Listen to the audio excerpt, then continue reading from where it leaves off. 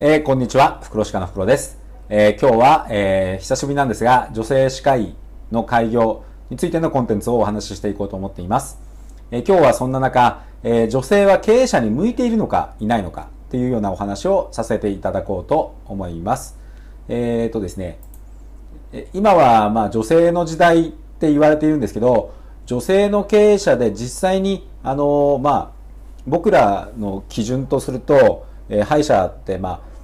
何千万とかって売り上げを考えてますし、えー、中でもまあ一応1億円、まあ、億超えっていうんですけど、えー、それをまあされているっていうところが、まあ、スタンダードになるかなというふうに思います。えーまあ、実際であの女性の経営者さんで、えー、億超えって、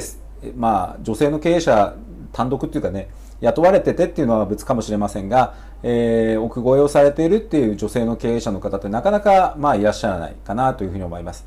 あの女性が卒業生の、まあ、大学の卒業生のまあ40%を今、えー、占めてきているわけなんですけど、えー、そんな中で、まあ、実際にあのこれから女性の経営者ものすごく増えていくと思うんですけどその時にあの水準っていうのがだんだん下がっていってしまうっていう傾向にこれからなっていくっていうのが、まあ、厚生労働省の狙いかもしれませんが、まあ、そんなことでいいのかっていうところが僕らにはあります。えー、まあ、この世の中っていうのは、まあ、建前上では女性社会にこれからなるよって男性は言いますけれども、まだまだ世間的には、えー、通常の男性社会の方が、まあ、いいとされているというか、まあ、売り上げてきたものとかっていうのは多いかもしれません。ただ、えー、一般業種だったらもっと、えー、いるものがこと歯科に関してはまだまだ女性のところの、えー、出ていく場が少ないっていうのが、えかなり多いんではないかっていうのが、えー、僕の感想です。あの、たまにいらっしゃる凄腕って言われる女性経営者、えー、まあいらっしゃると思うんですけど男の中が女性女性なのに頭の中は男の方ですよね。まあ、そういった方だったらいいんですけどやっぱり女性的なこう共感を持ちながらっていうスタイルで、えー、なかなか、えー、奥越えっていうのを一人で目指していくのはなかなか僕は厳しいんじゃないかっていうふうに、えー、今も思ってますし多分、えー、女性の方々も、えー、そのように自分で認識されている方が多いんじゃないでしょうか。じゃあ女性は実際には経営者に向かないのかっていうと他業種かなり今は女性の管理者管理職っていうのは増えてますよね。えー、部下に男がいても、えー、普通の業種であれば問題はないんですけど、えー、今年かに関しては、まあ、フラット意識が働くってこともあるかもしれませんけど、えー、上に立ちたくないっていう女性がやっぱり多いと思います。あのー、どうしても委員長、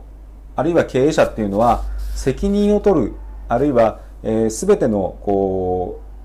まあ、重圧がかかってくるのはそこの部分ですので、まあ、そういったところに立ちたくないと思ってらっしゃる方がやっぱり多いんじゃないでしょうか。